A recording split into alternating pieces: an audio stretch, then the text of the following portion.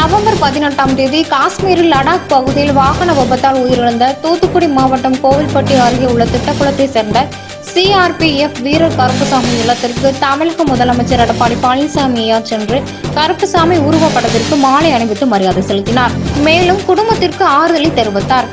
இவருடன் செய்தி மற்றும் விளம்பரத்துறை அமைச்சர் கடம்பூர் ராஜு வருவாய்த்துறை அமைச்சர் ஆர் பி உதயகுமார் முன்னாள் அமைச்சர் நாத்தம் விஸ்வநாதன் ஸ்ரீ வைகுண்டம் தொகுதி சட்டமன்ற உறுப்பினர் சண்முகநாதன் முன்னாள் எம்எல்ஏ மோகன் உள்ளிட்டோர் உடனிருந்தனர். எல்லா வசதிகளும் உள்ளடக்கிய உள்ளதை செல்வோம் நல்லதை செய்வோம். பொன்னி மருத்துவமனை திருச்சி ரோட் பல்லடம்.